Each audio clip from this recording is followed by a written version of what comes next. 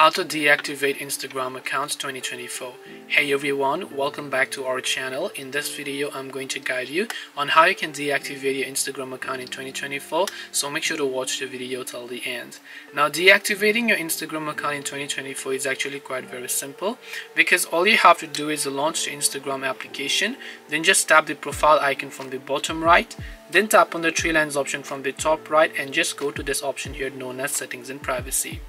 Once you go to settings and privacy, go to account center from the top, then scroll down to personal details. From here, just go to account ownership and control, deactivation and deletion. Select your Instagram account from here and then just select the option called deactivate account.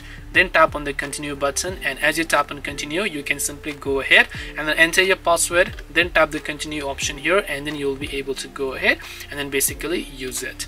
And this way you should be able to go ahead and then basically deactivate an Instagram account. Hope this video was very helpful. If you have got any questions then feel free to leave them down below.